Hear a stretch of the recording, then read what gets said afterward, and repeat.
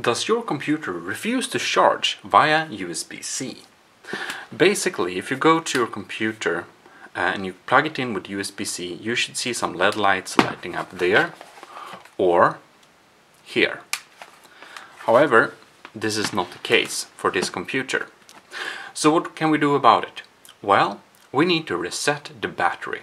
So usually how you reset the battery is you take your on-off key, you push it down, and you hold it. You hold it push down for about 15 to 20 seconds. There.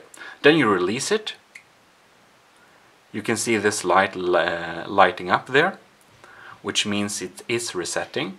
If you look, I don't know, you probably can't see it, but there is a small light lighting up there and there.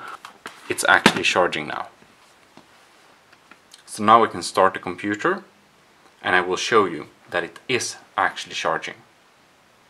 And there we go. Charging. Fix the problem.